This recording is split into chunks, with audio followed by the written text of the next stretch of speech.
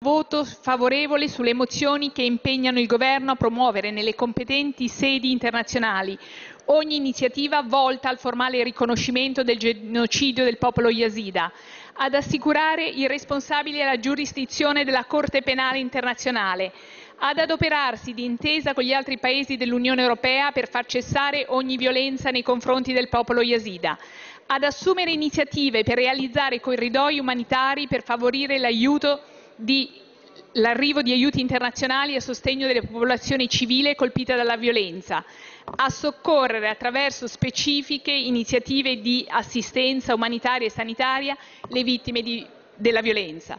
Di farlo, di farlo velocemente, possibilmente adesso. Grazie. Grazie a lei. Adesso il collega Borghesi, prego. Grazie Presidente raramente si è riscontrata in quest'Aula una simile convergenza politica tra i gruppi su una questione che concerne un indirizzo di politica internazionale da dare al nostro esecutivo. La persecuzione degli yazidi è in realtà un fatto piuttosto antico, che si lega all'intolleranza da sempre manifestata dalle maggiori articolazioni dell'Islam nei confronti di ogni forma di sincretismo religioso. Se quanto è loro accaduto è diventato finalmente di dominio pubblico, questo lo dobbiamo alle incredibili violenze di cui si sono macchiati i sostenitori del Daesh nei loro confronti, uccidendo brutalmente migliaia di uomini e condannando alla schiavitù sessuale migliaia di donne, anche se il numero esatto delle vittime del califfo è controverso, in quanto gli yazidi ritengono sottostimate le cifre accettate dalle organizzazioni internazionali siamo debitori anche nei confronti dei maggiori media, che sono riusciti a mostrarci e raccontarci il loro dramma. La situazione degli yazidi continua ad essere critica e soprattutto incerta, malgrado molti di loro siano stati finalmente salvati.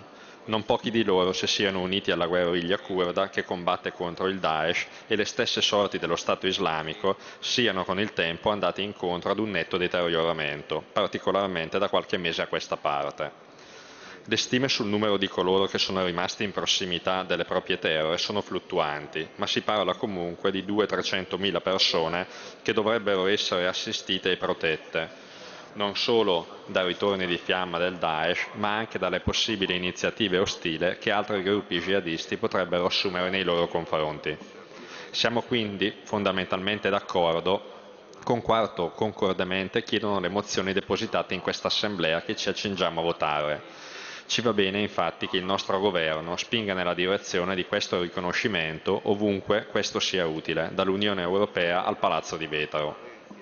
Ma mentre come Lega Nord approviamo questo cambio di passo con convinzione, non possiamo non rilevare come i testi sottoposti al nostro esame trascurino la situazione non meno triste in cui versano altre minoranze, che sono forse riuscite in parte a tutelarsi solo perché esistono nel Levante interlocutori politici e militari, ancora disponibili ad assicurare loro un'adeguata protezione.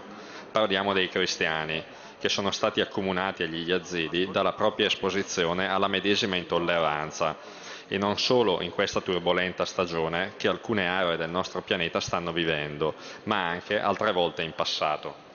Cogliamo altresì l'occasione offertaci da questo confronto odierno per sottolineare ancora una volta come sia necessario debellare non solo Daesh, ma ogni forma di jihadismo organizzato, senza concessioni ad alcun gruppo, neanche in favore di quelli che oggi ci appaiono utili e gestibili, ma che domani potrebbero rivelarsi efferati come Al-Qaeda e lo stesso ISIS.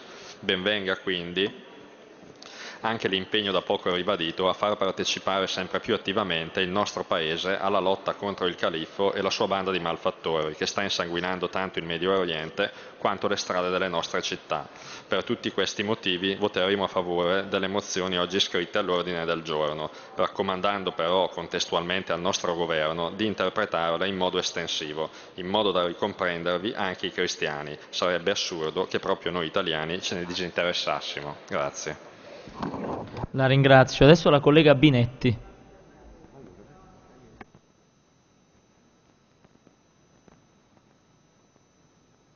La collega Binetti.